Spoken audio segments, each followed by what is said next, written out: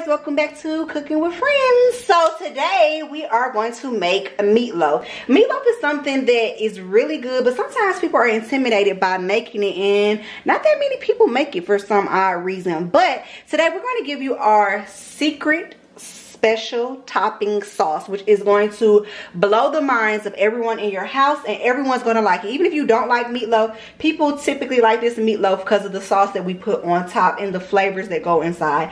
And we're going to teach you a little trick of how to keep it moist. So what you'll be needing you know on cooking with friends we only use ground turkey but please feel free to use ground beef.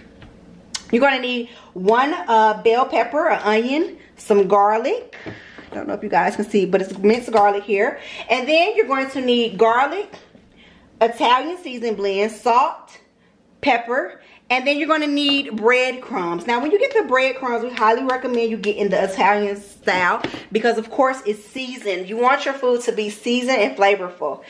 now, with the with the breadcrumbs itself, we do already have our soaking in milk. That is the key thing of not having a dry meatloaf is to soak the breadcrumbs in milk.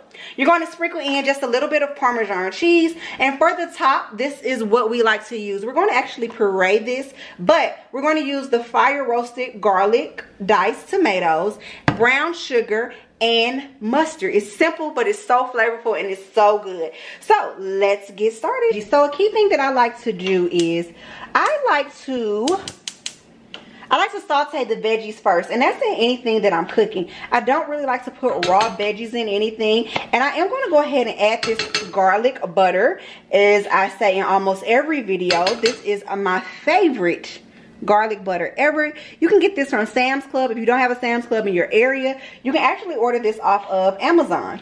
So, this is packed. When I say packed, it's packed with flavor. So typically you really don't need to put any like salt and pepper on it because the butter already has enough flavoring in it. And don't forget, we're going to go ahead as well and season the meatloaf as well. So you don't really need to season it. You just need to saute this around. So you're going to add your onions, your bell pepper, and your garlic. And you're just going to saute this around until it gets a little bit of translucent.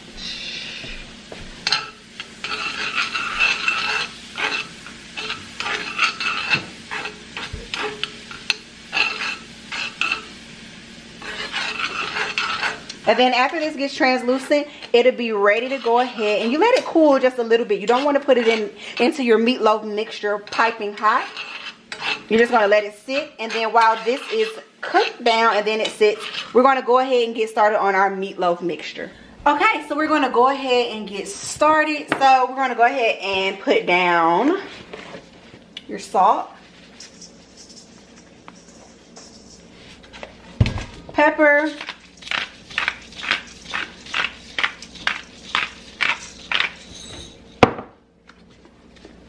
your garlic,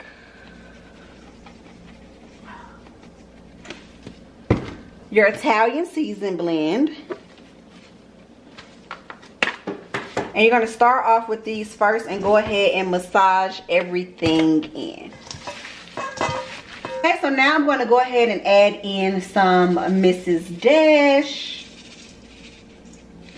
And I'll massage this in. And next you're gonna wanna go ahead and put in one egg. Have my assistant here. All right. And massage your egg in.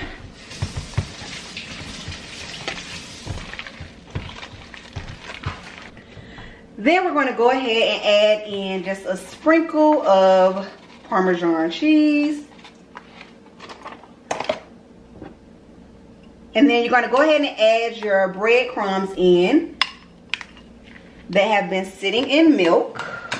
And you can go ahead and massage everything in. And that's the last step of everything that you need. Well, no, that's not the last step. you want to massage this in because actually we can't forget about our veggies that's on the stove. And we're going to go ahead and add that in. All right.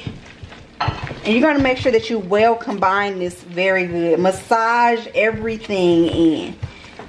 And then next we're gonna go ahead and create it into a loaf. Go ahead and put it into a pan but if you have a meatloaf pan it's even better. But if you don't have one no fear. No fear no worries because you can shape it into a meatloaf.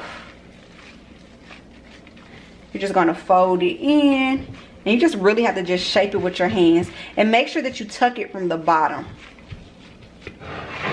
it's just all about molding it And we're going to smooth the top out once we're done. And you want to try to mold it up as high as you can because since we don't have a pan, it will kind of flatten out just a little bit. But try to get it all together. Should look like this. I am actually going to go ahead and put this in the oven on 380 and I'm going to do this before I put the sauce on because I want this to cook a little bit and then I will add the sauce to this. Loaf out. It is halfway done. It should look like this. And this is when you can go ahead and begin to put the sauce on top. As you see we have already pureed it down and simply just have to add it to the top and it'll drip down to the sides and you don't want to use all of your sauce because you're going to baste it one more time when it comes out or halfway through halfway when you're ready to do it do it for like five more minutes before you're ready to serve it.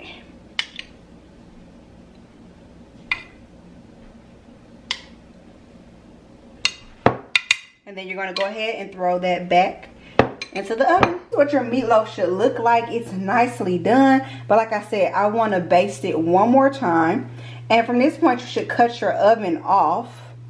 And you can just put it in there for about five more minutes so that this can cook into it but pretty much cut it off because it's done you just really want to warm this sauce and so it can sit deep down in your meatloaf but this is when you're going to take your remaining sauce and just pat it on there with a brush and you're all done and here you have it, the finished result of your meat loaf.